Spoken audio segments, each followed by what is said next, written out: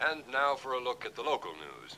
Rubbish collectors on the north side had an unpleasant surprise this morning when one of the containers they were collecting proved to be holding the remnants of a local woman who apparently had been mutilated and dismembered with a power saw.